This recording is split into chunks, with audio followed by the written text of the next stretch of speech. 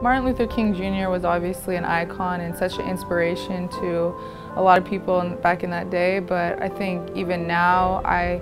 think about him and it makes me feel like I can do things through adversity and be more courageous and even when times are hard, it gives me the strength and, and power just thinking about what he did. I really admire his um, determination and his passion for what he believed in and he really fought for everything that he thought was right and I think that's something that really influences me today um, and it's something that I continue to do, just speaking out on what I think is right and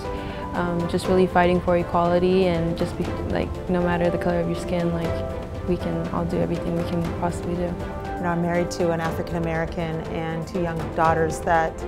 um, are growing up at a time where race relations have been challenging, um, but I think Martin Luther King has um, been a, a great role model for so many people, girls, boys, men, women, on you can do anything in this world if you set your mind to it. Um, be kind to others, treat others how you would want to be treated, and, um,